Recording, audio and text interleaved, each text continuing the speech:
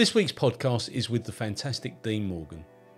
Dean has just concluded his service with the Welsh Guards and he talks candidly about his time within the regiment. Tune in and listen next Monday. But in the meantime, listen to this excerpt from his story. So, Dean, let's go back. It's September the 8th, 2022, mm. and Her Majesty the Queen passes. What was that like for you within the regiment, and how was that received? Because she was the most iconic woman in the world, and to me, you know, she's up there when it comes to great people. What was that like in the army?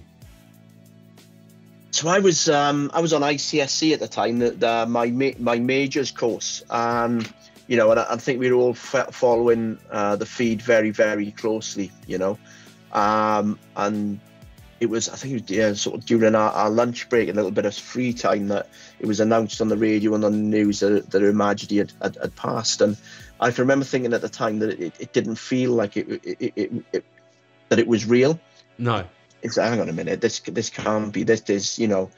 Her Majesty's not going to die, surely or not. You know this, this this can't be real. And I think as that sort of day progressed, then um, it was quite surreal actually because you know, we all the whole course met met in the bar, and somebody rang the bell, ladies and gentlemen, um, Her Majesty the Queen, the Queen, and we all we all toasted uh, Her Majesty uh, that evening, and you know the, the sort of flurry of writing operational orders and headquarters London district um, pulling out their plans for Operation uh, London Bridge and ensuring that you know all the correct warning orders had gone out. All this stuff was going on and, and happening, um, but I was a little bit sheltered from it, thankfully, because I, I was on um, ICSC.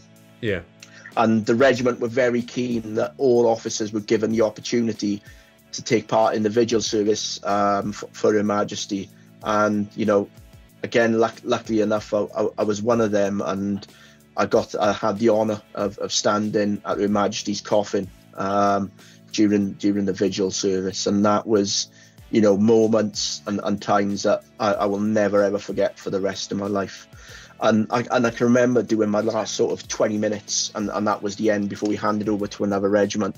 And as I turned and, and marched away, I felt this overwhelming sense of, of, of sorrow that mm. that was my my last duty as a, a 44, 45 year old man, having done it since I was a 16 year old kid. Yeah. You know, and that that was my last action, the last bit of service to Her Majesty as a, as a, as we we marched away from the catafalque and then uh, up up the stairs and away. You know, and I did feel that overwhelming sense of sorrow at that point.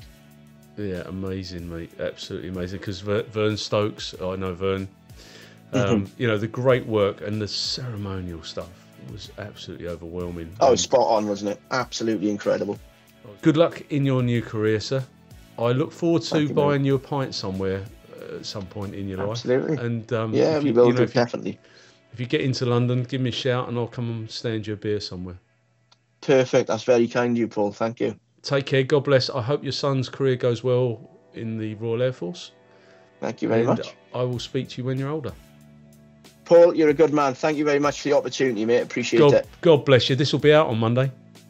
Brilliant. I'll take a good look. Thanks, mate. All right, mate. God bless you. Thank you. Bye-bye. Bye-bye. Bye bye. Bye bye.